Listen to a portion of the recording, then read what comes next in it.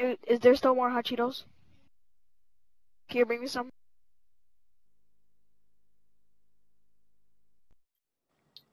What's up, everyone? Temporary Lulz here, just bringing you in after that fantastic intro by some random.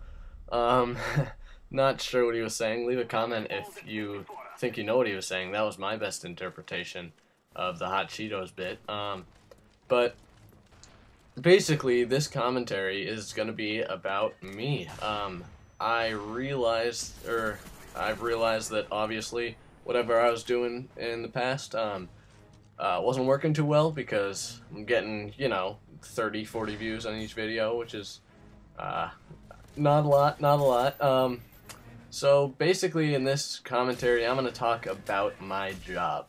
Now, I am 14 years old, 15 years old actually.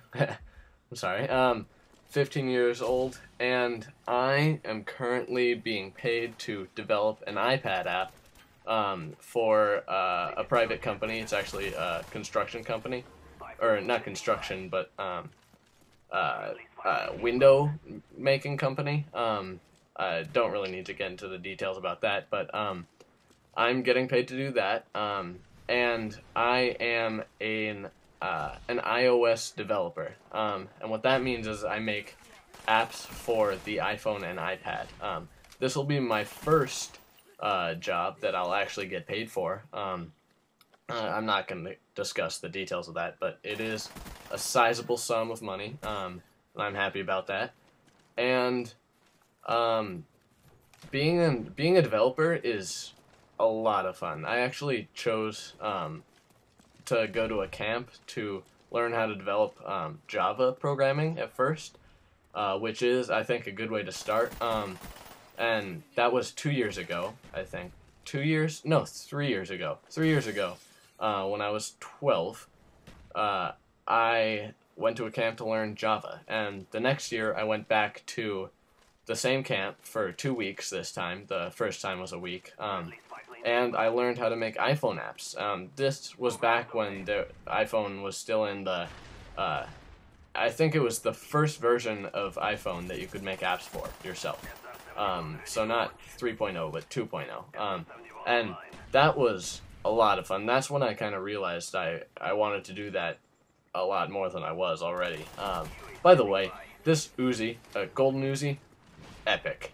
Best gun in the game, in my opinion.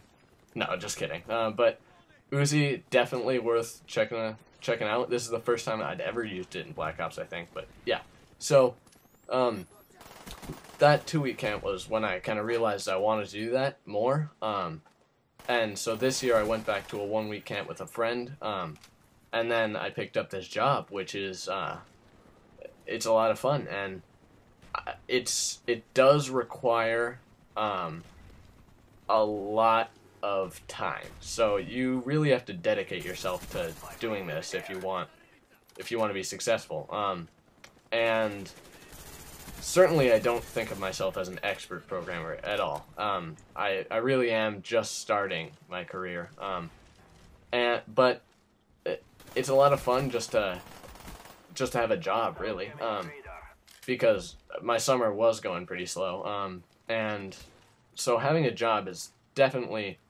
a fun thing to do if if you like the job. Um, certainly, I, I I don't. I've never worked at McDonald's or Burger King or anything like that, so take my opinion with a grain of salt. Um, but that was.